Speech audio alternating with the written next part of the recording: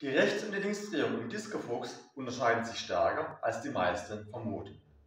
Das liegt daran, dass wir einerseits immer mit dem gleichen Fuß anfangen, andererseits aber immer um unser Standbein herum drehen.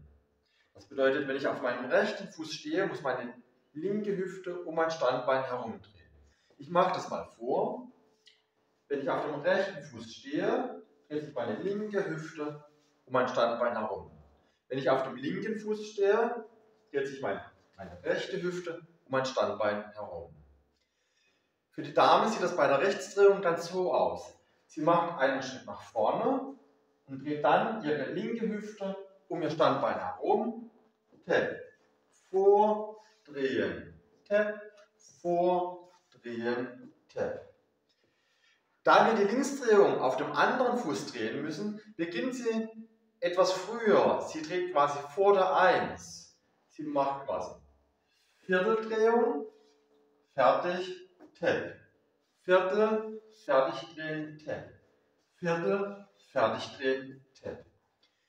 Für die Herren ist es grundsätzlich gleich, allerdings beginnt er ja mit dem linken, also mit dem anderen Fuß. Deshalb ist für ihn nicht die Rechtsdrehung, sondern die Linksdrehung die, die mit einem Vorwärtsschritt beginnt. Die Herren Linksdrehung beginnt mit vorwärts, drehen, vorwärts, drehen.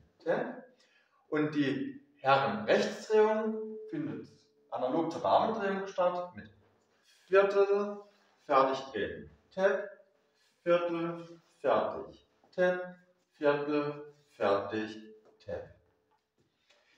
Es ist mir auch wichtig, dass ihr den zweiten Schritt bei der Drehung möglichst klein macht. Dabei geht es darum, dass die Abstände im Paar nicht zu groß werden und die Arme von der Länge her gut reichen und kein Zerren entsteht. Das sieht dann für die Dame so aus, sie tanzt einen bequemen Schritt nach vorne mit rechts, macht ihre halbe Drehung und platziert ihren linken Fuß in der Nähe ihres Standbeins. Tap, vor, zwei, tap, vor, zwei, tap. Bei der Linksdrehung sieht es dann so aus, Sie tanzt eine Vierteldrehung. Sie platziert ihren Fuß in der Nähe des Standbeins. Tap, Viertel, 2, Tap, Viertel, 2, Tap.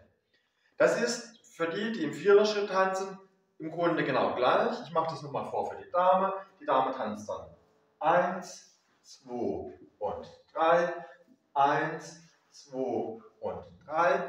Oder als Linksdrehung 1, 2 und 3. 1, 2 und 3. Ich hoffe, das Video hat euch gefallen. Wenn ihr euch weitere Videos wünscht, könnt ihr in den Kommentaren unter Hashtag Discofox eure Wünsche und natürlich auch eure Fragen hineinschreiben. Ich werde sie gerne beantworten. Ansonsten wünsche ich euch viel Spaß beim Tanzen.